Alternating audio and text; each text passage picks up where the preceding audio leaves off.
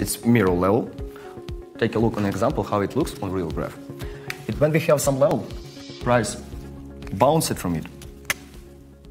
Price, for example, bounced it from it, but eventually broke it. I want you to understand the logic of mirror level.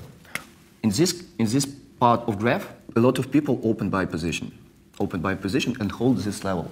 They set stop losses under this level. And when price broke it down, that means big player took volume of buyers to continue down move. Took a lot of volume and activate sell position because there are a lot of traders who trade when who open position when price broke broke some level.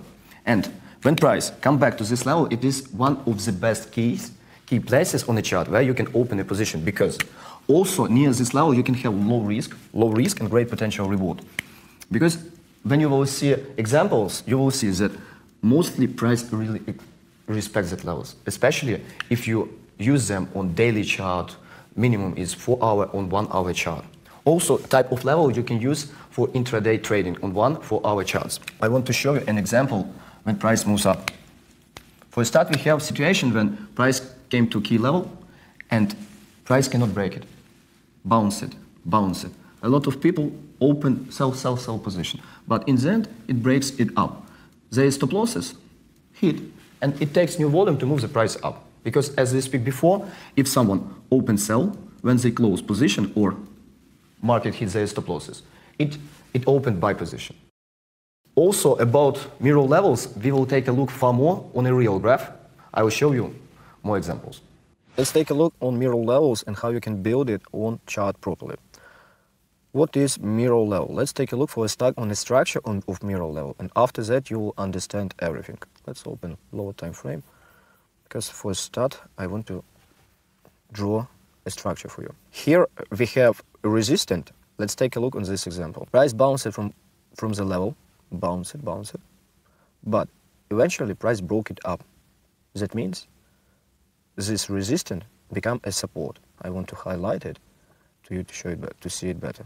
Here was resistant and it became a support. Also the same situation if we speak about uh, when we had a support and price broke it down. Take a look on this hem. Price came to level, bounced from it. There could be one bounce, there could be a lot of bounce. The most important is that price break level and close above or under it. Under it, if we, we had support and it became a uh, resistance. And after that, we have a good place to open a position because most of the people had buy position, set their stop losses here under this level. When price break down that level, most of their position hits stop losses and it bring it brought new volume and it brought new volume to the market to move the instrument down. Take a look on this. That's why I love to trade mirror levels because I know where big players could take the volume which they need to move the instrument. Take a look on this example, on real example, on gold. Take a look on this real example. Here we have mirror level from daily chart. Take a look here. Let's open daily chart. Also, let's clean this mess. Let's clean everything. Take a look here on this huge paranormal candle. Price were in the range many days and price just broke it up and came back. Here there was resistance. When price broke it up and closed the ball, resistance became a support.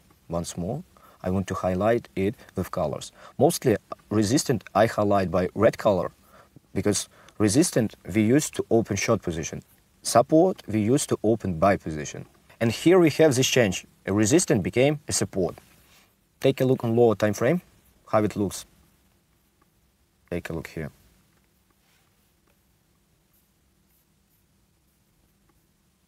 The price exactly came to this level, made a fake broke and continue up move.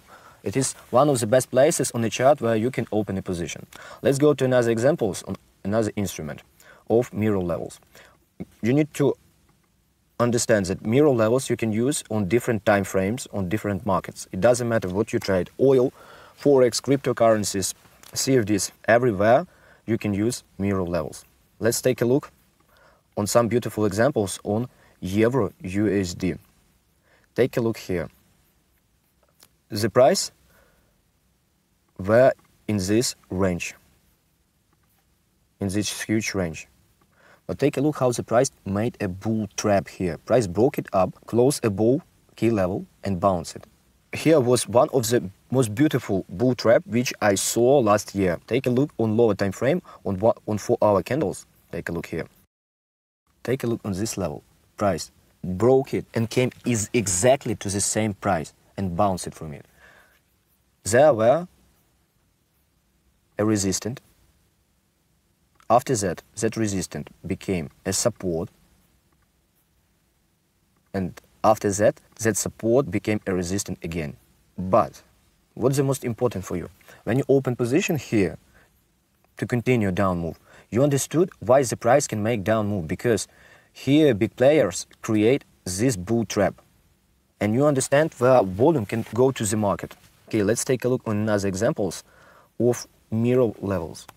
Let's open some other instrument. Let's open British pound, for example. One of the good example here. Take a look on this level. Also, it is a round number. Take a look how many times price just bounced from it. On this round number, take let's let's do it. 1.31. Price bounced from this level first time and also two times before broke it up and after that, first time when price came here, there was this bounce. Take a look what happened when price just broke it down. Price broke it down and came back again. It is one of the most beautiful mirror levels which I trade last week. Let's take a look here. Here was a resistant. Resistant became a support. And after that, it became a resistant again. It could change a lot of time, but I recommend to you to trade it first time, maximum is the second time, because on third time, in 80% cases, price broke uh, key level. For example, here, take a look, price bounced first time from this level. After that second time bounced but on third time, price came back and broke it down. That's why use such type of levels wisely. Okay, let's take a look on another example on this currency pair. Sometimes these levels will be not so beautiful, but still we can use it. Because for us it is important that these levels, they work. It's far more important than do they beautiful or not. Let's open daily chart. Also, friends, remember that the most important time frame in trading, it is on daily chart, we can find a really powerful levels. Take a look here on this example. From this place, price make this up move, make this re-high, this powerful up move. And take a look what happened when price came here. First time, price bounced many times from these levels. After that, price broke it down close under it. First time, that was a mirror level, and after that, a second time, price came back to the same level. Take a look, the same level, low risk and potential reward in 5, 10 times, 15 times bet bigger than your risk. Let's check other examples. For example, Japanese yen. Take a look on this currency pair.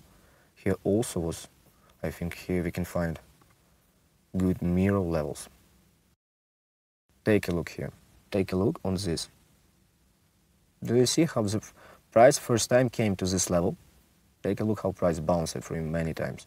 Also, you can find another mirror level here. Such mirror levels you can use for intraday trading, especially because mostly if you want to open a position for long term, you need to use daily levels only because such inside levels they are not such powerful as daily levels because only from daily levels price can make a huge move. Okay, let's take a look on some other currency pair. For example, let's it be Canadian dollar. Let's it be Canadian dollar and where we can find a good mirror level. Let's open some lower time frame here. For example, for our for our chart. Take a look here. Do you see how many times the price bounced from the same level?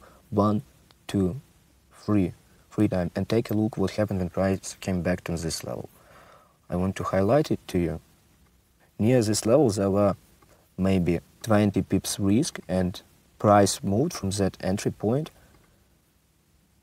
in six times bigger than your risk. Risk reward was 1 to 7. It, it really was amazing risk reward. Okay, let's open some other instruments like uh, oil, gold, or also indexes and even shares.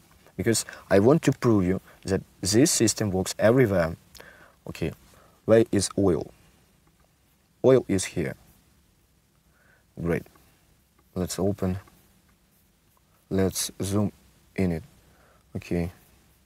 Take a look here. First and beautiful level. This example. There were a support, price bounced from it, and take a look how many days candles were above this level. Big players accumulate position here. A lot of people open buy position because price moved down so much and they wanted to turn the price. But when price hit their stop losses, it brought new volume to the market. Let's open some lower time frames to you. Four hour, for example. Take a look here on this on this level. Take a look how many days, how many times price bounced from this level, came back again. Take a look, two times price bounced from this level more than 200 pips. Friends, if you if you risk, for example, 30 pips, you can take one to five, one to six here, in this range, from this mirror level. Okay, let's open indexes. Let's open S&P 500. Let's start from daily chart because daily chart is head of everything. Take a look here, for example here, from this level. From this level, price broke it up and uh, made this re-high. Also, take a look here. We can open lower time frame and see price bounce it from this level. After that, broke it up, close the ball, and take a look how many times daily candles bounce it from it. Also, take a look here. It's also one of the most beautiful example. Price made this down move, close the ball, and how the price made this powerful up move from this place. You need to understand that this type of levels works everywhere for you. It's important to build it properly. In this video lesson, we learned how to build mirror levels properly. Once more, use higher time frames for a start to build it daily, weekly chart. Only after that you can use lower time frames. And let's go to another lesson where I will show you historical levels. Let's go ahead.